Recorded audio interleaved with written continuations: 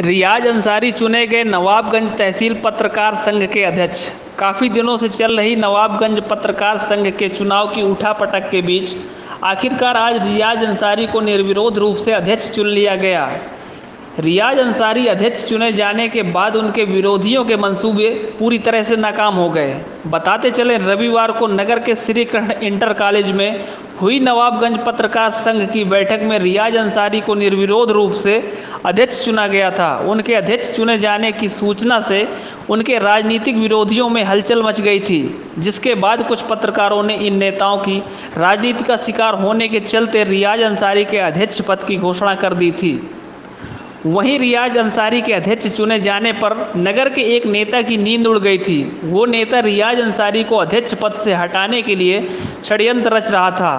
आज नगर के आकेजन बारात घर में हुई पत्रकार संघ की बैठक में रियाज अंसारी ने अध्यक्ष पद से अपनी दावेदारी वापस ले ली। लेकिन पत्रकार इसके लिए राज़ी नहीं थे और सभी ने एक मत से उनको नवाबगंज पत्रकार तहसील संघ का अध्यक्ष चुन लिया। इसके साथ ही अनूप गुप्ता कोषाध्यक्ष, नजमुल अंसारी, रियाजुद्दीन को सचिव, सुमित कुमार व नजमी जैदी को भी सर्वसम्मति से उपाध्यक्ष चुना गया। इफ्तार अमन व अब्दुल कयूम को संघ का विधिक सलाहकार चुना गया। नवाबगंज तहसील पत्रकार संघ के अध्यक्ष चुने गए रियाज अंसारी ने संगठन को मज़बूत करने और हर पत्रकार के सुख दुख में साथ खड़े रहने का वादा किया। साथ ही नवाबगंज तहसील के पत्रकारों में से अनूप, सुमित, अनु, कयूम अंसारी, अखलाक अंसारी, अमन, रियाजुद्दीन अंसारी, रियाज उर्फ़ गुड्डू, परवेज अंसारी आदि भारी संख्या में पत्रकार मौजूद रहे। बरेली उत्तर प्रदेश से अखलाक अंसारी की रिपोर्ट देखते रहिए आपका अपना चैनल आंचलिक खबरें अपनों की खबर आप तक। जी इसमें जो आज बैठक हुई है इसमें गठन हुआ है और जी को जो ज़िम्मेदारी दी दी गई है अध्यक्ष पद की क्या कहना चाहिए जी नमस्कार अस्सलाम वालेकुम। जी मैं मुख्तार अहमद।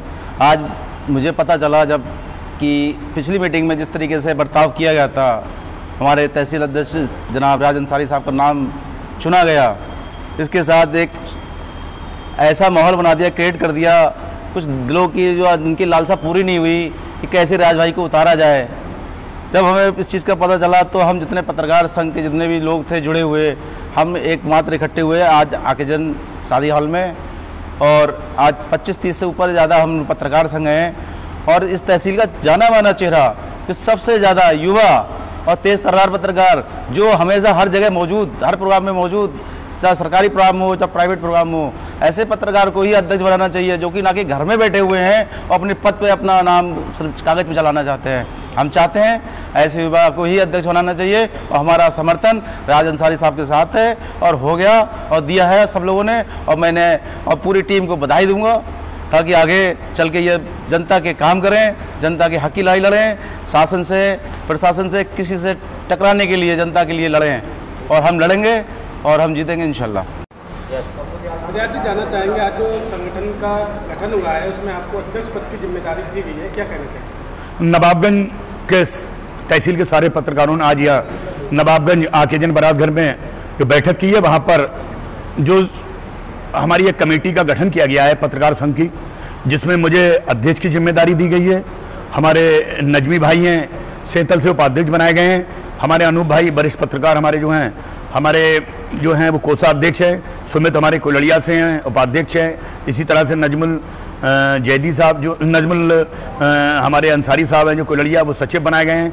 और हमारे नजमी जैदी भाई, हमारे भाई जो हैं, उन्हें भी उपाध्यक्ष पद पर आम सहमति से सबको नियुक्त किया गया है।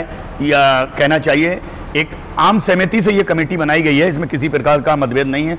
और मैं जो साथी अभी भी जो कुछ लोग जो राजनीति कर रहे हैं पत्रकारों के नाम पर और जो आज की इस बैठक में नहीं आ पाए, मैं उन लोगों से भी अपील करना चाहूँगा कि पत्रकारों के लिए ज़रूरी है कि हम लोग संगठित होकर एक साथ रहकर हम लोग अपने संगठन को मज़बूत करें और जो लोग नहीं आए उनका भी हमारे संगठन में स्वागत है। वो आए, जुड़ें हमारे साथ। उनकी जो भी समस्याएँ होंगी, हमारे जो आज के साथी लोग हैं, हम एक दूसरे के साथ हमेशा कांधे से कांधे मिला के साथ खड़े हैं। जैसा कि आपने बैठक की है इससे पहले जो भ्रम फैलाया गया था कि कोई बैठक नहीं है या पत्रकारों में जो गुटबाजी देखने को मिल रही है क्या? कोई गुटबाजी नहीं है सारे पत्रकार देख लिए। हमारे तीस बत्तीस पत्रकार साथी आज यहाँ बैठक में हैं। और पिछली बार जो बैठक हुई थी रविवार को सबने देखा मुझे आम सहमति से अध्यक्ष बनाया। लेकिन कुछ लोगों ने बीच में रोड़ा अटका दिया राजनीति के। उसमें ऐसा है कि नवाबगंज के कुछ बड़े राजनीतिक चेहरे जो बड़े राजनीति करते हैं, वो भी शामिल रहे कि अरे, जब मेरे नाम की सहमति बन गई, उन लोगों के फ़ोन आने लगे कि इस व्यक्ति को अध्यक्ष बनने से रोका जाए। तो कुछ लोग हमारी उस राजनीति का शिकार हो गए और उन्होंने एक साजिश करके वो उस टाइम जो अध्यक्ष की घोषणा थी, वो रुकवा दी, टलवा दी थी। बहाने उन्होंने लाग किए, लेकिन उनके मंसूबे कामयाब नहीं हो सके। मैं उन लोगों को भी जो राजनीति कर रहे हैं, पत्रकारों के पत्रकारों के संगठन के बीच में, मैं उनसे भी कहना चाहूँगा कि वो अपनी दलों की राजनीति करें। हम पत्रकारों के दिलों को फाड़ने का काम ना करें।